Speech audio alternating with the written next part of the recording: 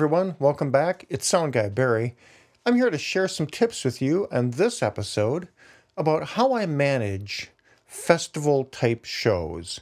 And by a festival show, what I mean is those shows where you have multiple bands on stage through the afternoon or through the evening. So I might have two, three, five bands, one playing right after another.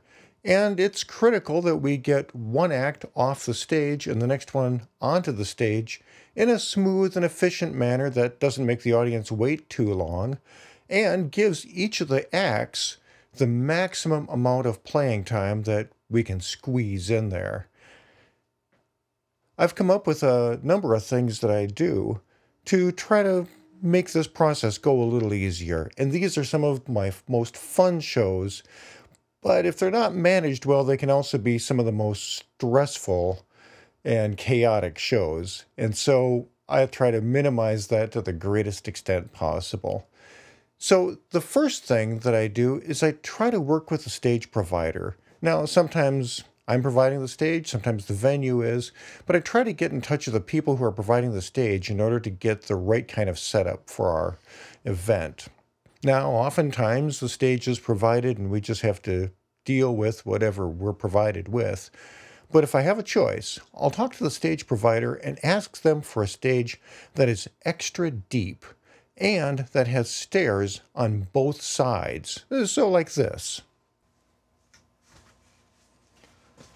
Okay, so when we specify the stage, we want to ask for a stage that is extra deep and has stairs on both left and right sides of the stage.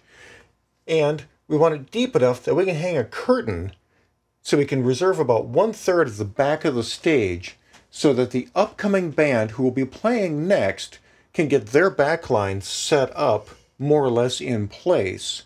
So when the first band finishes playing, they can just move their gear off the stage and the next band can just move their gear through the curtain into place rapidly. And so that'll make our switchovers a lot faster. Also, when setting up the stage, I want to set up a power feed across the front for everybody and a power feed across the back for the back line. So this way people can have their uh, guitar effects and whatnot plugged into the front outlets and they have power for the back and we don't have a bunch of cabling that is going back and forth across the stage. It keeps things real neat and simple and easy for everybody. Then I'll try to get the bands together and we'll have a little talk about what's expected during the evening and I'll try to give them some advice, some direction that helps everybody work best together so we all get the most time on stage. And so I've got a handful of tips that I'll pass on to the band. One is that that stage has two stairwells on it, and one is only to be used for entering the stage, and the other is only to be used for exiting the stage. And I'll put some signage up by those stairs saying, you know, entry only, exit only. So that way everybody and all their equipment is always moving smoothly from one side of the stage to the other, and people aren't walking into each other so much or having collisions on the stairwell or struggling with that. And that makes things go faster and easier and safer. I'll ask the bands to make an effort to have consistent backlines. I know this isn't always possible, but if it is possible, if we can keep the bass guitar amplifiers in the same spot on the stage, and the guitars in the same spot roughly, the drums usually are stage center, so that's usually no issue. That way, all of our feed lines and microphones that go to those instruments don't have to move around too much from one act to the next, and that saves us time. Another thing is nobody should be on stage that isn't actively doing something. So as you're tearing down your rig, there's no reason to have your girlfriend or best buddy up there just sitting there kibitzing. Uh, the only people who should be on stage are the musicians and the roadies who are actually moving gear in or out. When you pack up your gear, the order of packing should be to pack up guitars and delicate instruments and get them in their cases and off the stage. Uh, don't just put them on a stand and set them aside because I want all of that delicate gear to be moved out of the way so there's less opportunity for somebody to trip over it, damage equipment, get things banged up. So pack up all the guitars and stuff, put them in the case, get the case off the stage. Then pack up the wiring and get it off the stage and then get the amplifiers off. And so by following that order, we tend to move things out most quickly with the least potential of damaging anybody's expensive gear. I ask people to please not move microphones or cables around too much. If there's a feed cable that's on stage left, that's where I'm going to expect it to be when the next act comes up. And if I have to run around the stage and play Find the Weasel, that wastes time. And uh, it also means that I need to move around more. More likely, I'm tripping over other people. And so that doesn't help. So try not to move the signal lines of the microphones too far from where they're placed. Or if you do, it sure would be nice if you'd put them back roughly in the location where they started from. I ask people to try not to bring liquids or other debris like your meal up on stage because the more stuff we bring up on stage, the more stuff we have to clear off. And liquids always make me a little tiny bit nervous because liquids can be spilled, and I don't want to see liquids spilled into anybody's equipment or my equipment. So I try to minimize the amount of junk that's on stage. I ask bands to respect their set times. This is a normal request, but in these kind of events, it's especially important that we don't run over time because if you run over time, that cuts into the time for the next act, and that's just not really respectful. Um, and also, of course, general sound guy advice is to play at a moderate level because if somebody's on stage playing really loud, making a lot of volume on stage, Uh, that's hard to deal with as a sound guy to wrap the rest of the band around them with the PA when you don't have control over the equalization or the level of a particular instrument. And so it makes for a better show for the audience if everybody on stage plays moderately, plays as quietly as they can, but no quieter, and lets the PA do the heavy lifting. And of course, as always, one of the most important things is don't get hurt be careful. I remember a show years ago where um, it was a country act, and there was a fiddle player, and he was an amazing fiddle player. And uh, he was an older guy. He must have been in his 70s. And he does a fiddle solo. He's got a wireless fiddle. It's kind of cool. And he starts just running from one side of the stage to the other side of the stage. And uh, then he takes a flying leap and jumps on top of our speaker columns on uh, one of our columns. And I remember sitting back there going, oh my goodness, dude. It's like I hadn't secured those things down to take that kind of impact. And I was hoping that everything would hang together, which it did. And I was worried for the guy because he's now 14 feet above gravel and thought, if you fall from there, it's going to be a bad day, dude. Um, but everything turned out fine, but that really made me nervous. And so be careful because if somebody gets hurt, well, that's really going to put a kink in the show, and and that doesn't work good for anybody, of course. Now, as the sound guy, there are things that I do to make my life a lot easier too in these events.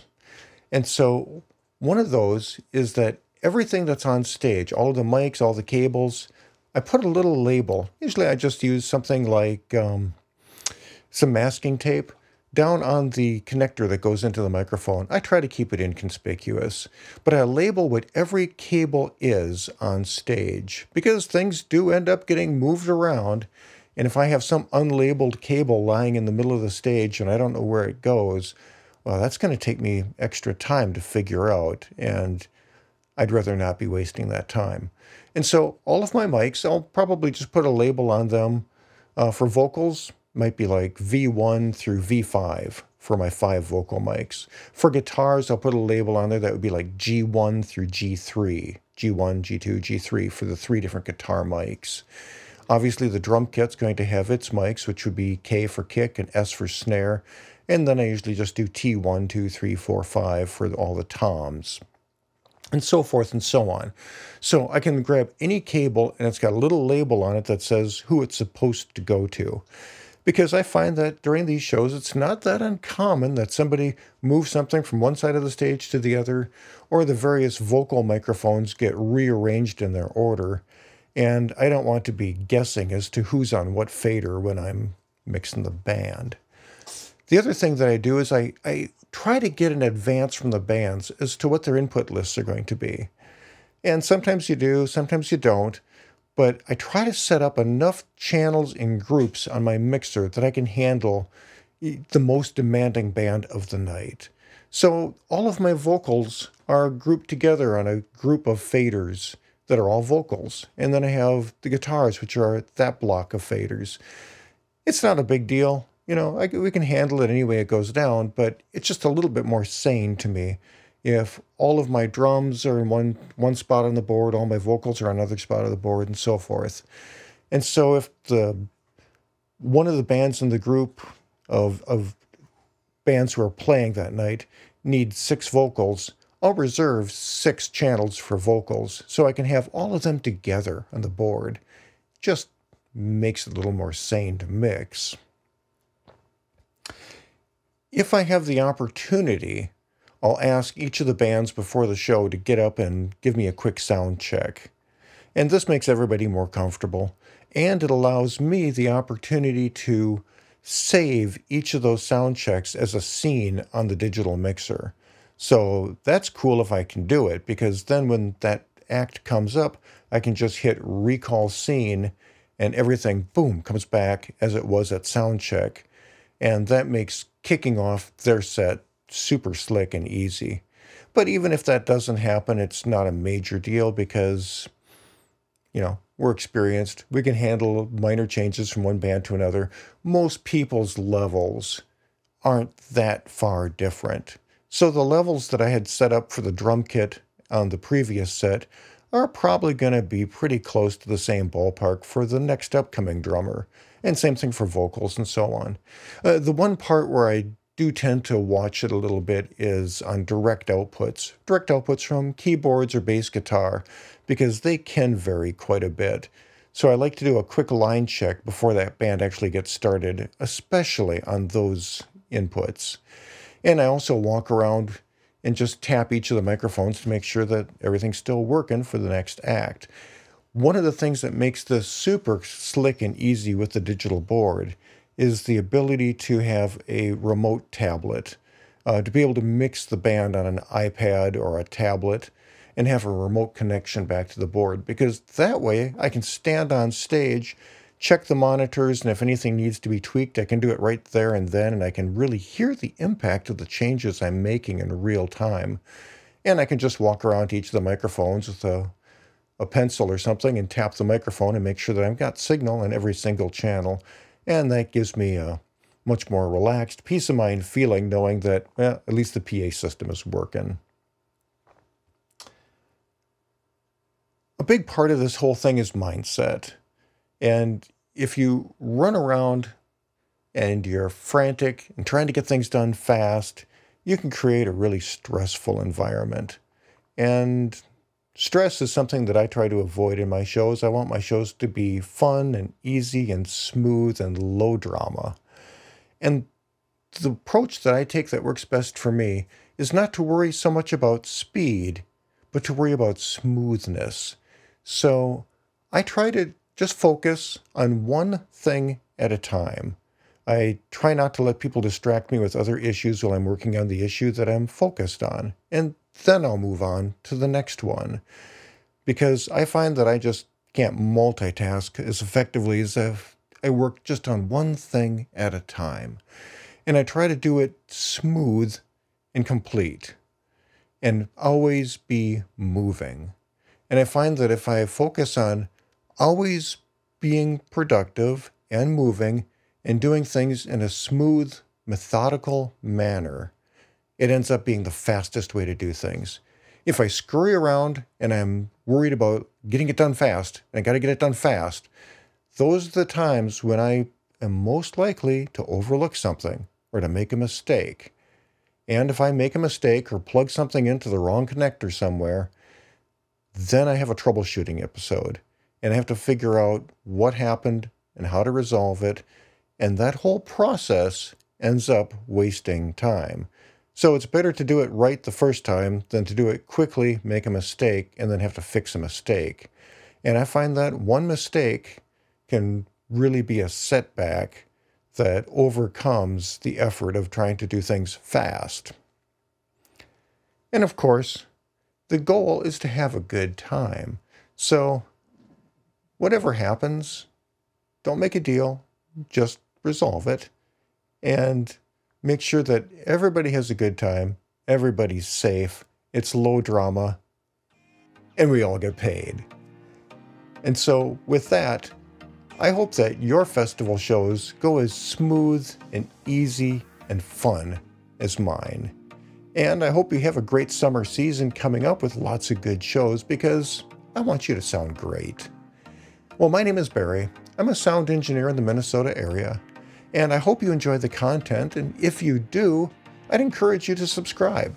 If you subscribe and hit that bell icon, YouTube may notify you when new content comes down so you don't miss anything good. Um, and if you like the content, I'd also appreciate it if you'd take a second and go down there and click the like button because that way it strokes my ego and it notifies YouTube that this content is appreciated by the audience and YouTube may be encouraged to share this information with a wider audience so more people can benefit. Thanks for sticking around. I hope to see you again on another upcoming episode of Sound Advice.